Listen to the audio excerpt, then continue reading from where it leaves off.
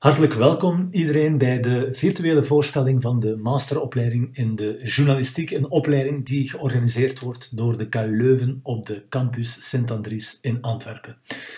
Ik ben Michael Opgenaffen, ik ben de programmadirecteur van deze master en ik ben vooral heel blij dat ik jullie kan meenemen in mijn verhaal over waar deze opleiding precies voor staat.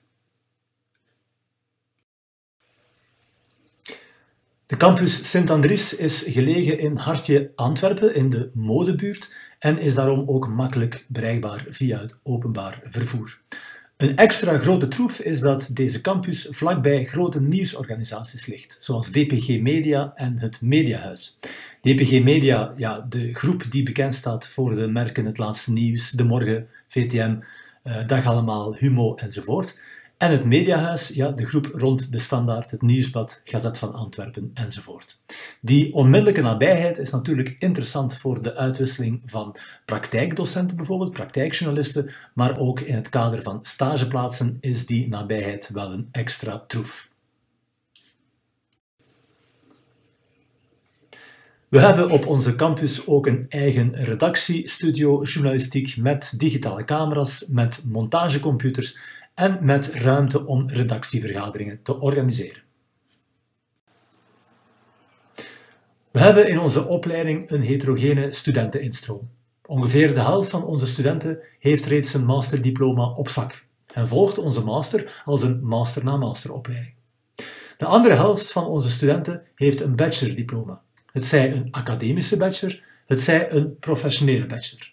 Die laatste groep is dan via een schakelprogramma naar onze master gekomen. We hebben studenten uit toegepaste taalkunde, taal- en letterkunde, communicatiewetenschappen en geschiedenis, de grootste groep van onze studenten. Maar we hebben ook studenten die eerst cultural studies, politieke wetenschappen, sociologie, psychologie, rechten, antropologie en dat soort opleidingen hebben gestudeerd. De vakken in ons programma kun je onderbrengen in drie grote delen.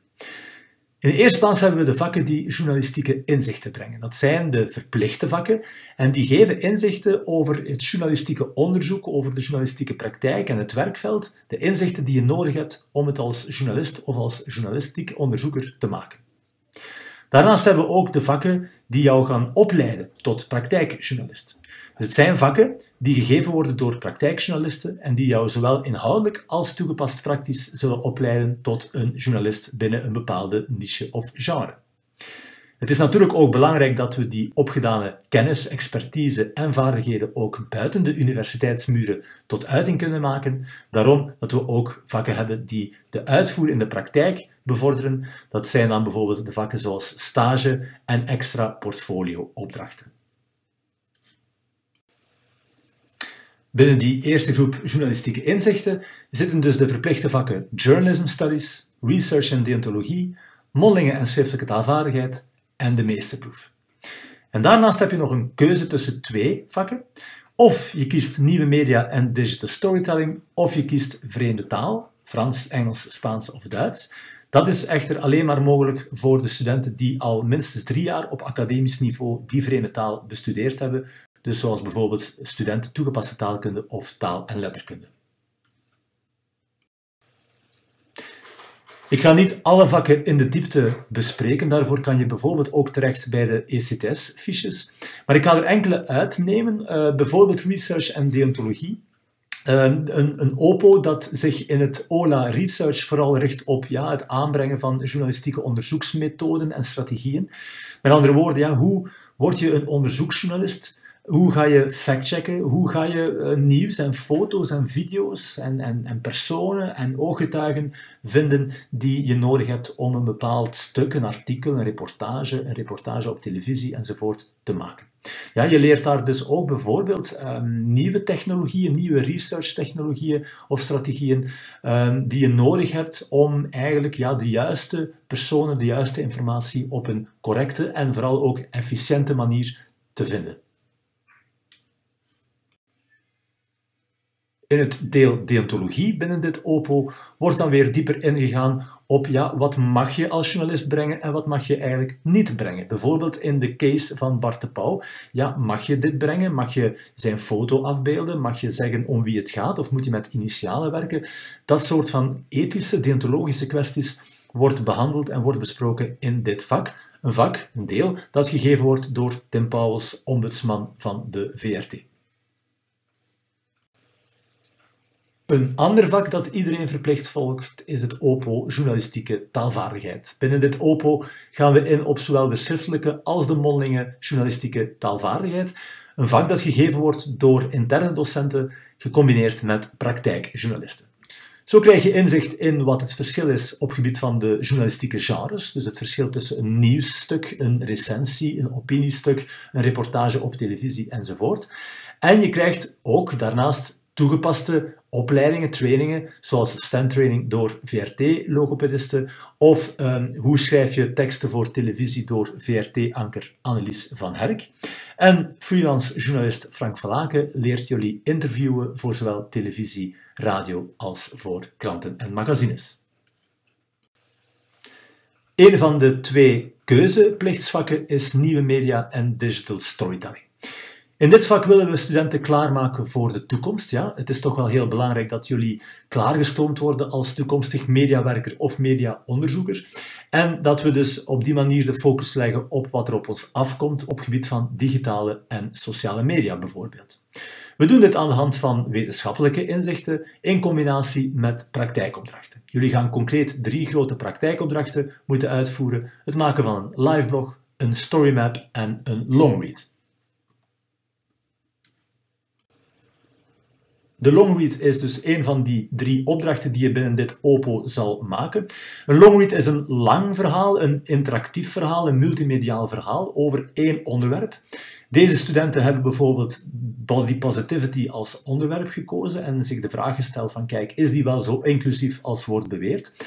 En die hebben daar dus een verhaal over gemaakt met mooie visuals, met uh, diepgaande teksten en getuigenissen Waarbij ze bijvoorbeeld ook de getuigen geresearched hebben en ook zelf gefotografeerd hebben.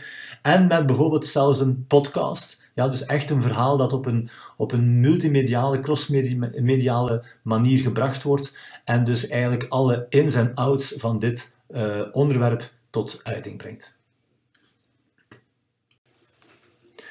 De praktijkcases behoren dan weer tot de zuil opleiding door de praktijk. Ja? Opleiding door de praktijk, je krijgt les van praktijkjournalisten binnen dit specifieke niche of genre. Je kiest uit deze reeks van acht cases, kies je er drie. Je kiest bijvoorbeeld cultuurjournalistiek in combinatie met gerechtsjournalistiek en sportjournalistiek. Of je kiest binnenlandjournalistiek en buitenlandjournalistiek in combinatie met audiovisuele productie. Ik stel voor dat ik even twee cases bespreek als voorbeeld voor de andere cases. Binnen cultuurjournalistiek bijvoorbeeld krijg je les van Frank van Laken, praktijkjournalist bekend van De Zevende Dag, De Standaard en tal van andere media. Ja, en hij bespreekt verschillende facetten van de cultuurjournalistiek, zoals literatuur, muziek, film, architectuur enzovoort. Ja, en hij doet dit in zijn collegereeks aan de hand van workshops, gastcolleges, maar hij organiseert bijvoorbeeld ook een bezoek aan een culturele instelling, zoals de Bourla. En hij laat jullie natuurlijk ook reportages maken. Hij laat jullie bijvoorbeeld een filmrecensie maken. Hij laat jullie interviews afnemen met culturele actoren. Of hij laat jullie een nieuw format voor een boekenrubriek op televisie bedenken.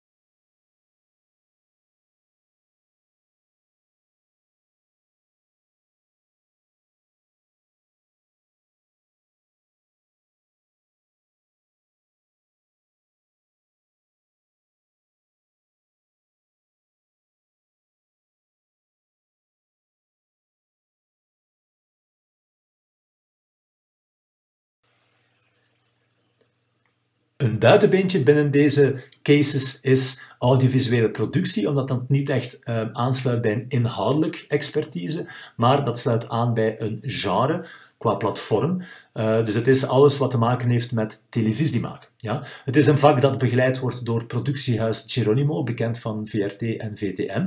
En in deze lessenreeks leer je ja, alles rond camera- en interviewtechnieken, hoe een televisie-item wordt opgebouwd en je leert ook in het eerste semester de basis van montage op montagecomputers. We willen ook natuurlijk dat jullie die opgedane kennis en vaardigheden um, ook buiten de universiteitsmuren kunnen bewijzen. We organiseren daarom verschillende zaken, zoals een extra redactieweek en we hebben een verplichte stage. Doorheen het jaar gaan we jullie ook altijd stimuleren om jullie eigen multimediale portfolio uit te bouwen. Binnen die redactieweek heb je de keuze tussen een redactieweek print en audiovisueel. De redactieweek Print is een voltijds week van maandagochtend tot vrijdagavond. En jullie maken tijdens die week een magazine. Ehm, in principe ook uh, op print, maar zeker ook online. En we doen dit onder begeleiding van de redactie van Stamp Media en onder begeleiding van een hoofdredacteur die we ja, eventjes een week lenen van Humo, Knak, Flair, het Nieuwsblad, De Standaard enzovoort. En dat is heel boeiend om te zien hoe studenten maandagochtend samenkomen op de redactie um, en eigenlijk een paar dagen later een volledig magazine gemaakt hebben. Met daarbij ja, de horende deadline stress, de soms ja, pittige discussies, maar vooral de, de, de mooie creativiteit en de mooie inhoudelijke inzichten die dan tot uiting komen. Kies je voor de redactieweek audiovisueel, dan is het ook hier een voltijdsweek en dan maak je eigenlijk onder begeleiding van het productiehuis Geronimo uh, verschillende televisie-nieuwsreportages van A tot Z. Ja, dus je gaat zelf je onderwerpen uh, bedenken en pitchen op een redactievergadering. Je gaat zelf de research doen en je gaat met de digitale camera op stap om eigenlijk ja, enkele dagen later die enkele televisiereportages uh, uitzend klaar te hebben. Een van de hoogtepunten in onze opleiding is natuurlijk ook de stage. Wij hebben een verplichte stage omdat we dat heel belangrijk vinden en we horen ook van studenten dat ze dat heel erg boeiend vinden en eigenlijk noodzakelijk vinden met het oog op een professionele carrière als journalist. Dus die stage bij ons is substantieel. Wij hebben uh, een stage van minstens zes weken, maar die kan uitgebreid worden tot acht, twaalf weken en in overleg zelfs wat langer duren. Um, we hebben verschillende stageperioden om jullie ja, flexibiliteit toe te laten. Dus jullie kunnen de stage tijdens het jaar lopen bijvoorbeeld in de uh, wintermaanden of in de periode mei-juni. Um, een hele grote groep studenten volgt de stage ook tijdens de zomermaanden juli en augustus. En ja, je kan uh, zelf kiezen waar je een journalistieke of een redactiestage gaat lopen. Dat is natuurlijk op de redactie van een krant, magazine, televisiezender, radio, online nieuwsite, productiehuis enzovoort. Maar je kan het ook bij een uitgeverij doen of bij een communicatiedienst van een bedrijf of je kan op de persdienst van een grote organisatie een stage lopen. Zolang het maar iets te maken heeft met nieuws, redactie, doelgroepgericht communiceren enzovoort. Ja, en heb je dan al die vakken goed afgerond, dan mag je je met recht en reden master in de journalistiek noemen. En op basis van deze opleiding heb je dan inzicht in de wetenschap en praktijk van nieuws en journalistiek en kan je doelgroepgericht en op een taalvaardig correcte manier communiceren met die doelgroepen. Bovendien gebruik je op die manier verschillende crossmediale platformen die je op een wetenschappelijke en journalistiek correcte manier gebruikt. En doorheen de opleiding heb je ook een netwerk uitgebouwd en multimediale portfolio's samengesteld. En bovendien niet onbelangrijk, kan je jezelf verkopen naar de buitenwereld, naar toekomstige werkgevers. Tot slot wil ik jullie aan de hand van een aantal concrete voorbeelden de variëteit qua beroepsmogelijkheden na onze masteropleiding illustreren. Ongeveer 60% van onze alumni is aan de slag in de pure journalistiek en werkt dus voor een redactie van een, ja, een magazine, een dagblad, een online nieuwssite, een radio- of televisiezender. Zo is er Shema Saisai, die als nieuwslezeres voor de VRT werkt en s ochtends bijvoorbeeld het nieuws op M&M leest. En Maxi Eckert is aan de slag als wetenschapsjournaliste bij De Standaard. Onze alumna Marie Monsieur is dan weer freelance reisjournaliste en schrijft voor verschillende reismagazines. En Kathleen Perraar is reporter bij VTM Nieuws. Zoals gezegd liggen er ook heel wat beroepsmogelijkheden buiten de pure journalistiek, bij productiehuizen bijvoorbeeld, of als woordvoerder bij grote organisaties. Alumnus Wart Kalles is bijvoorbeeld press officer, perswoordvoerder bij wielerploeg De Koning Quickstep en begeleidt daar grote renners zoals Remco Evenepoel. Jonathan Hendricks heeft dan weer voor het onderzoeksluik gekozen en is op dit moment PhD-onderzoeker mediaconcentratie en nieuwsdiversiteit.